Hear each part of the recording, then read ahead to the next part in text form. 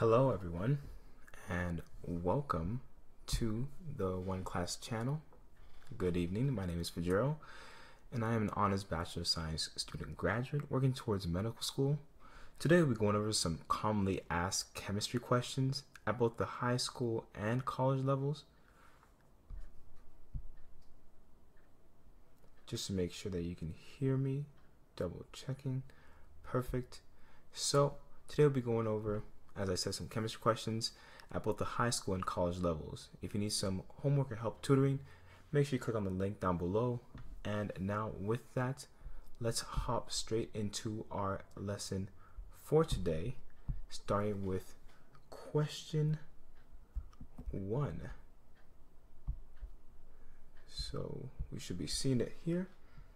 And the first question is just to draw the Lewis structure for CH5N. So let's begin, shall we? So, question one. Drawing that Lewis structure. So way we do this question, um, first we want to just list out the atoms we have. We have a carbon, we have five hydrogens, and we have a nitrogen. So the way these Lewis structures usually work is that we want to organize it in a way where everything is fulfilled, but we find that out actually. So we definitely need help from our trusty periodic table. So right there, we have it ready. And so we have carbon, and carbon has four valence electrons. So we're just gonna list it down here. Hydrogen has a valence electron each. So we put it as one, but because there's five of them, that's five electrons. Nitrogen also has five electrons. So with that in total, we just add this up, four plus five plus five. We have a total of 14 valence electrons we have to account for. Now, usually the way you want to do this is that because carbon and nitrogen are the one with the most valence electrons, that's the one you want to center in the middle here. So you kind of just draw like, well, actually, let's not add the electrons just yet we draw carbon and nitrogen next to each other. And now, as you remember, two electrons, so drawn like that, this is a single bond. Okay? So, with that information, we just go ahead and start filling in uh, the carbon and the nitrogen. So, this is what we have so far a single bond between carbon and nitrogen. Now, here because hydrogen is 5, we can kind of just offshoot and try to throw in as many hydrogens as possible. Because I'm very familiar with this, I have a certain way of doing it. But first, let's do it in a way to where we didn't assume. So let's say this was one bond here, right? This is counted as one of carbon's four electrons and one of nitrogen's five electrons. So nitrogen still needs four more and carbon still needs three more. So let's just fill it in here. One, two, three. So that's theoretically carbon right now. And nitrogen would be one, two, three, four. So carbon and nitrogen are now quote unquote done in what they can contribute. Now we start throwing in the hydrogens. I just like throwing it in every corner that's free, aka has only one valence electron or even none, depending on how a complex question be. Usually it needs at least one though for the bond to actually form. So hydrogen, we just throw it in there for every part that has one.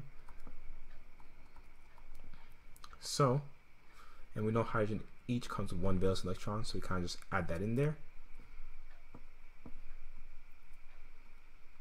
And funny enough, actually, we actually get the five hydrogens, one, two, three, four, five.